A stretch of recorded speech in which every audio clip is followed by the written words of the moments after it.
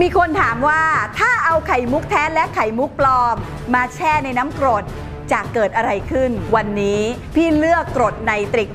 68%มาทดสอบ เริ่มที่มุกแท้ก่อนนะคะ มุกเซาซีเม็ดนี้ถอดมาจากต่างหูของพี่ตูนเอง เป็นมุกเซาซีสีเงิน ขนาดใหญ่เลยทีเดียวค่ะ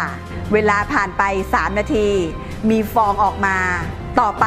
เป็นการทดสอบมุกปลอมนะคะ พี่ตูนใช้เวลาในการแช่ในน้ำกรด 3 นาที เช่นเดียวกับมุกจริง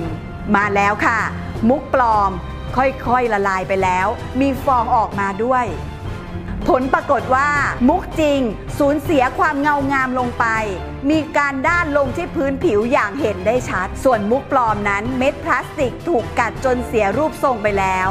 และมีร่องรอยไหม้ด้วยค่ะ เป็นยังไงบ้างคะกับการทดลองครั้งนี้ ใครชอบช่วยกดคอมเมนต์เป็นกำลังใจให้พี่ตูนทำคลิปสนุกๆแบบนี้อีกนะคะ